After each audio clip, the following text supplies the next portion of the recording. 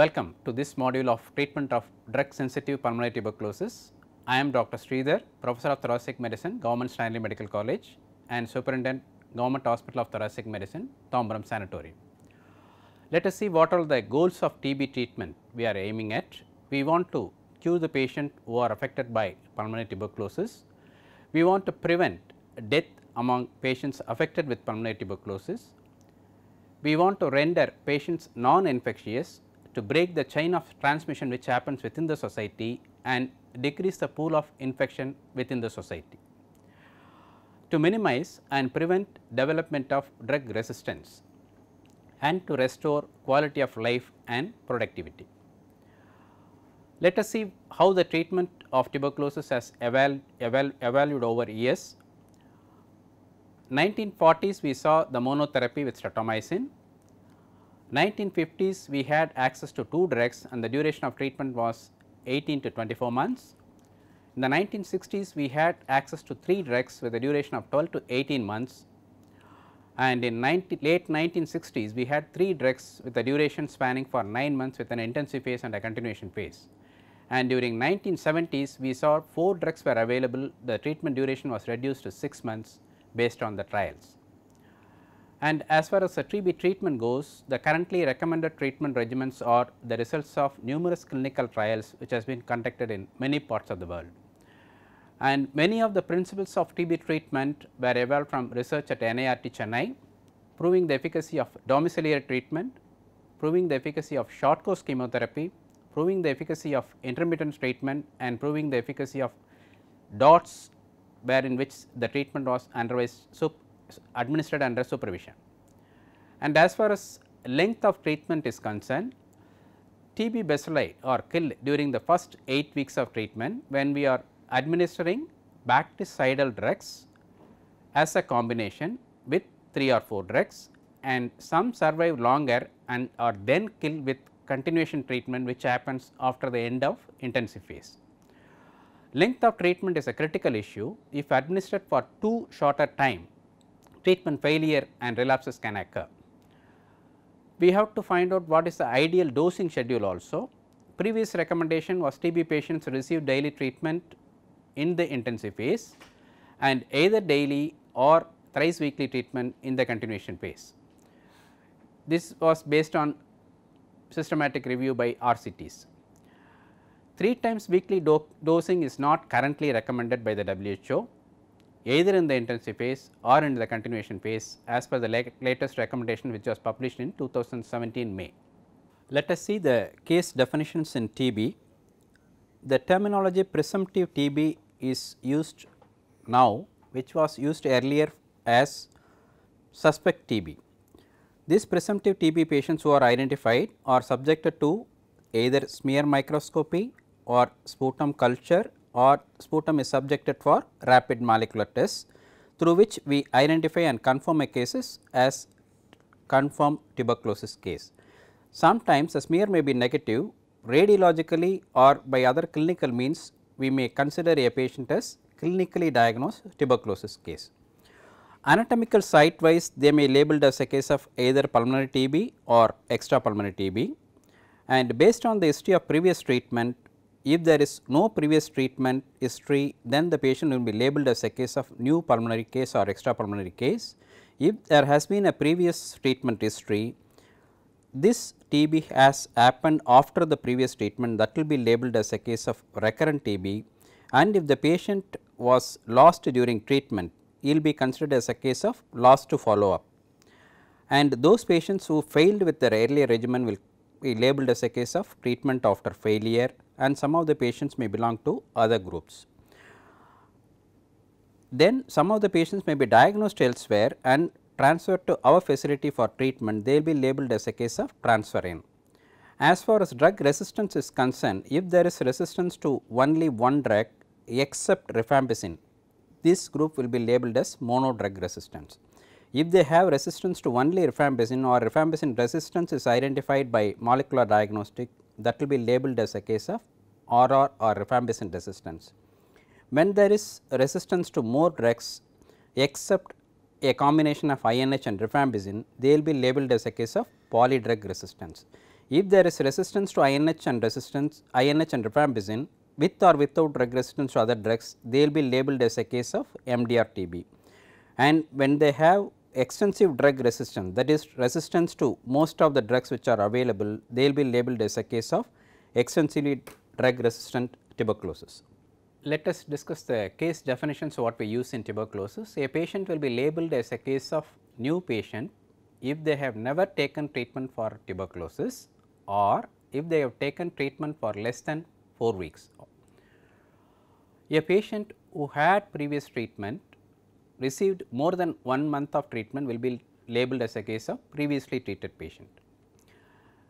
Drug sensitive TB is labeled when the patient's CB NAT says that he is sensitive to rifampicin or is line probe assay says he is sensitive to INH and rifampicin. What are the drug regimens currently recommended for drug sensitive tuberculosis both pulmonary and extrapulmonary? For all new patients who never had treatment or had treatment less than 4 weeks, they will have 6 months of total duration of treatment with 2 months of intensive phase with a continuation phase of 4 months. We will have 4 drugs administered during the intensive phase R stands for rifampicin, INH stands for H stands for INH, E stands for ethambutol and Z stands for pyrazinamide which is administered for 2 months followed by INH, rifampicin and ethambutol for a further period of 4 months. Those patients who had previous treatment presenting again with tuberculosis disease which is confirmed either bacteriologically or by other means at the same time is still drug susceptible will receive the regimen of 8 months duration where in which the intensive phase will be 3 months with 2 months of INH, rifampicin, ethambutol, pyrazinamide and streptomycin and third month they will receive only INH, rifampicin, pyrazinamide and ethambutol. The continuation phase will continue for 5 months with INH and rifampicin with ethambutol. This is as per the new standards of TB care introduced by Indian government. The RNTCP is now recommending daily regimen for treatment of drug sensitive TB in the entire country with fixed dose combinations in appropriate weight bands. Intensive phase is 8 weeks for new patients and 12 weeks for previously treated patients and continuation phase is 16 weeks for new patients and 20 weeks for previously treated patients. No extension of intensive phase is recommended in this schedule. Now, we will see the dosage of anti-TB drugs which are used in the fixed dose combinations. In the intensive phase, each pill will have 75 milligram of INH, 150 milligram of rifampicin, 400 milligram of pyrazinamide and 275 milligram of ethambutol. If the person is weighing between 25 to 39 kg, they will receive 2 pills and continuation phase will have the pill with INH 75, rifampicin 150 and ethambutol 275. Once again they will receive 2 pills in that if there is any requirement for streptomycin in that age in that weight band, the streptomycin dose will be 0.5. Whereas, if the person's weight band is 40 to 54 kg, the intensive phase and continuation, continuation phase will have 3 pills each with the streptomycin dosage of 0.75 gram. If the patient is in the weight band of 55 to 69 kg, in the intensive phase they will receive 4 pills and continuation phase will have 4 pills with streptomycin administered at 1 gram. Whereas, if the weight band is more than 70 kgs, then they have to receive 5 pills in the intensive phase and in the continuation phase another 5 pills and the streptomycin dose will remain as 1 gram. These are the fixed dose combination pouches from which the number of pills is administered for the patients. What is the WHO recommendations on all these issues? In patients with drug susceptible pulmonary TB, the 6 months rifampicin based regimen is the treatment of choice. Fixed dose combination is better than separate drug formulations and thrice weekly dosing is not recommended. ART should be given to all patients with HIV infection irrespective of CD4 count and 6 months regimen is recommended for this group also. In patients who require retreatment, the 8 month retreatment regimen is not recommended. It should be decided after DST, health education, counseling, treatment adherence measures should be provided and these are the drug dosages which based on which the FDC is formulated INH at the dosage of 5 milligram per kilogram body weight not exceeding 300 milligram, rifampicin 10 milligram per kilogram body weight not exceeding 600 milligram, pyrazinamide administered at the dose of 25 milligram per kilogram body weight, ethambutol 15 milligram per kilogram body weight. And streptomycin 15 milligram per kilogram body weight not exceeding 1 gram and let us see the definitions of treatment outcomes. We label a person as cured when microbiologically confirmed tuberculosis patients at the beginning of treatment whose smear or culture is negative at the end of treatment completion will be labeled as a case of cured. Whereas, a tuberculosis patient who have completed treatment at the end of treatment we do not have the data microbiological data or otherwise but completed the entire of entire duration of treatment will be labeled as treatment completed. Both the groups put together will be labeled as treatment success as far as treatment outcome is concerned. The tuberculosis patient whose biological specimen is positive by smear or culture at the end of treatment will be labeled as a case of treatment failure. If any patient dies during treatment that outcome will be labeled as death. If the tuberculosis patients whose treatment was interrupted for one consecutive month or more will be labeled as a case of loss to follow up and that if by any chance due to drug susceptibility testing showing resistance the treatment regimen is changed that will be captured as treatment regimen changed. When we see the treatment outcomes of new and relapsed TB patients who were treated during 2015, the range starts between 76 to 92 percent globally. The common drug adverse events which we encounter includes the pill burden, gastrointestinal symptoms, arthralgia, hepatitis, itching, hypersensitivity, rarely renal failure, thrombocytopenia and flu syndrome etc. When we see the drug related adverse events, all TB patients on treatment should be monitored for adverse drug reactions both clinically and with investigations. Patients should be informed that the urine will be colored due to TB drugs and this should not be a cause for alarm. Most of the adverse effects are likely to be mild and can be managed with symptomatic drugs and with counseling. All tuberculosis patients on treatment should be monitored for adverse drug reactions. What are the treatment support programs that is envisaged? Adherence to treatment is the key to relapse free cure. The counseling of patients and family members will ensure regular treatment the patient's family especially children should be screened for tuberculosis and initial and frequent follow up counseling of patients and family members is a must. Patients should ideally have nutritional support. There should be a mechanism to retrieve the patients who are lost to follow up and there should be a systematic screening of adverse events. Psychosocial support should also be available and there should be a provision for comorbidity management like diabetes and so on. The alternative treatment concept also has to be kept in mind. The principle of patient centric approach, community and family centered DOTS should be given priority. The information communication technologies modalities like frequent calls, SMS reminders, apps and IVRS etc., will help us to keep the patients continue with the treatment.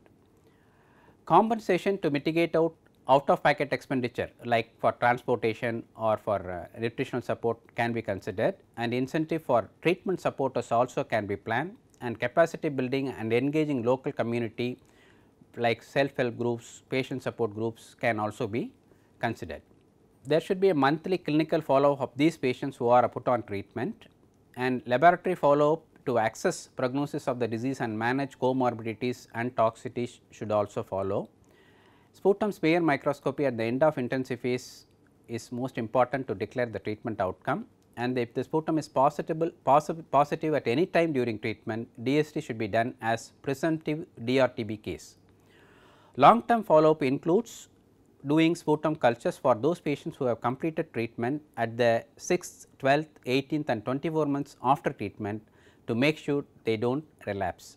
The new treatment card systematically records all the details about the patient and the follow up details as well. It captures the TB notification number or Nikshay ID, it takes the name complete address of the individual as well as their Aadhaar number.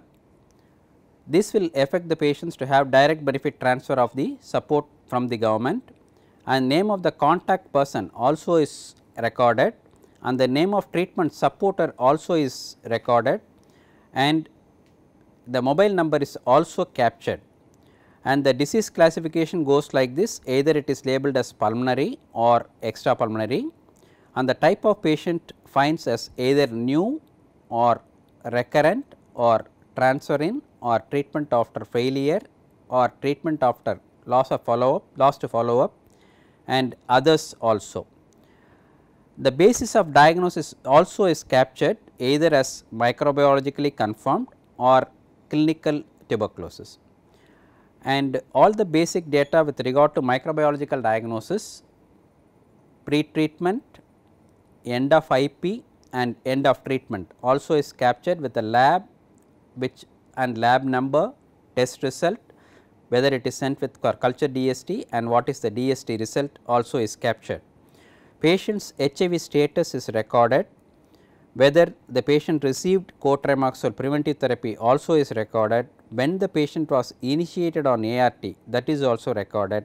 If there is a comorbidity like diabetes that is also captured and children who are having contact with this patient who is sputum positive also is recorded. children with less than 6 year and more than 6 years are systematically recorded and INH prophylaxis therapy is initiated for them. Addiction related information is also recorded like current tobacco use or whether there is current alcohol use and counseling is done for these patients to stay away from these addiction habits. The entire treatment schedule takes both the intensive phase as well as the continuation phase. Whether it is a daily regimen that information is also captured. According to the patient's weight band the number of pills is recorded and it is recorded as per the calendar dates in which the treatment is initiated. If the patient is not taking the drugs regularly the missed doses also and when they were retrieved that is that recordment the details is also recovered and if the patient has any adverse events during the course of anti-TB treatment that also gets recorded and patients follow up details at the end of 6 months, 12 months post treatment, 18 months post treatment and 24 months post treatment is also recorded. If there is any remarks there is a separate column to record that also. Treatment outcome is recorded with the date and signature of the medical officer also is recorded with the date. If the patient has received any nutritional support that is separately captured here. So, the key messages are the goals of TB treatment are to cure the patient, prevent death and drug resistance and to prevent transmission of infection in the society. Highly effective treatment regimens are available for drug susceptible TB. Treatment duration is for a minimum of 6 to 8 months with multiple drugs. Under the RNTCP, diagnosis and treatment are free of charge. Regular treatment adherence is crucial for cure. Thank you very much.